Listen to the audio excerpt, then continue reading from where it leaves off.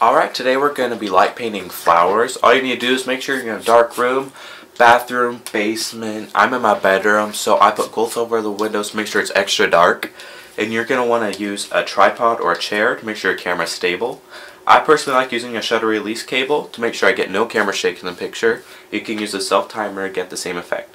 We want to make sure that our flowers are away from the wall so we don't accidentally get the wall in the picture or light bouncing off the wall into a part picture we don't want it in.